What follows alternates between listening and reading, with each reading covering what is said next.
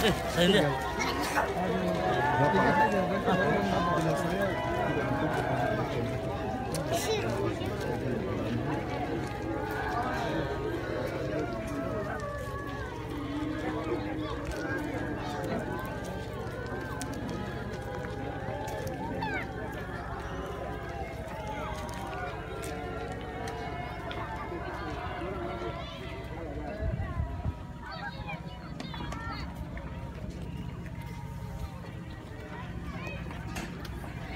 Guys, ini kita sudah ada di pesawat Arifas. Sebentar lagi kita akan eh, terbang menuju ke Timika.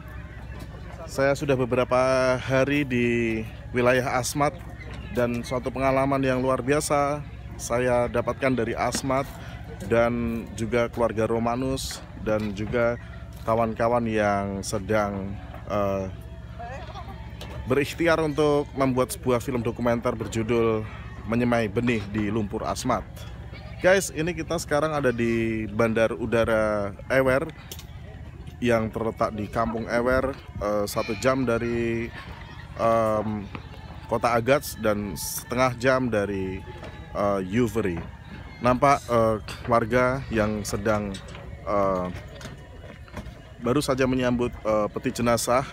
Saat ini mereka sudah menuju ke rumah eh, duka. Nampak sekali kita melihat bagaimana warga Asmat ketika menyambut kedatangan jenazah.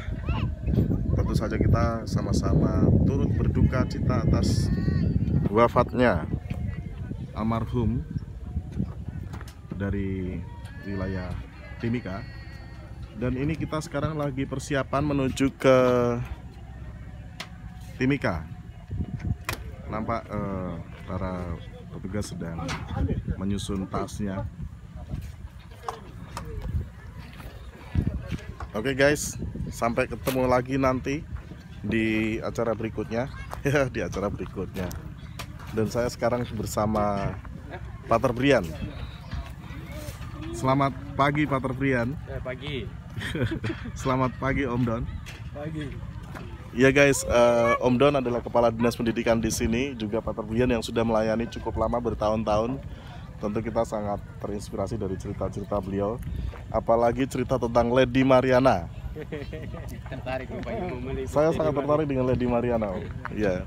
Kau tahu tuh kapal Lady Maria? Lady Mariana tahu? Ternyata Lady Mariana bukan seorang perempuan atau gadis yang datang ke Asmat, guys. Lady Mariana adalah eh, cerita tentang kapal yang selalu membawa bahan-bahan logistik dan keperluan bagi masyarakat di Asmat ini dan eh, sejak 1990-an ya, Om. Jadi mungkin kita akan cari Lady Mariana di mana sekarang ya. berada. Ya. Tapi jangan cari di Inggris ya. Ta- Tapi jangan cari di Inggris, mungkin dia adalah ratu keluarga ratu Inggris dan di istana Birmingham ya.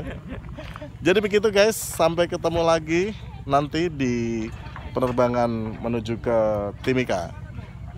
Terima kasih.